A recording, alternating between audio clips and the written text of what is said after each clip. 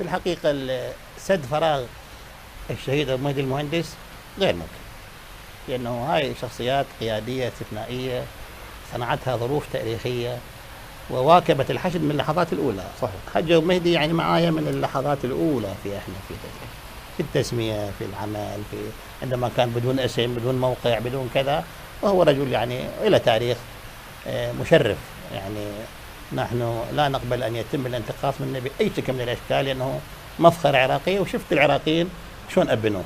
هذه مشاعر صادقة بدون تعبئة إعلامية وبدون بالعكس كان الأجواء غير مساعدة على هكذا آه، تأبين وتشييع إنما كان نبض قلوب الناس مع الحشد ومع ال- الشهيد الحاج مهدي المهندس. فالتعويض ما ممكن لكن آه، إحنا عملنا أن يكون الحشد مؤسسة.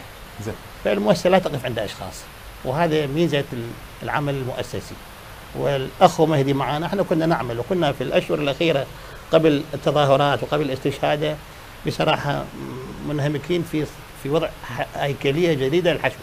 اختلفنا عليها وثم اتفقنا واختلفنا لكن بالاخير وصلنا إلى فصيغة آه، آه، وضعنا هيكلية خاصة للحشد تنسجم مع القانون وتنسجم مع الرؤية التي فيها المرجعيه وتنسجم مع إنه الحشد يكون جزء من منظومة الدولة. سوينا تكييف قانوني لافراد الحشد. إن شاء الله نعمل بالأيام القادمة على تنفيذه.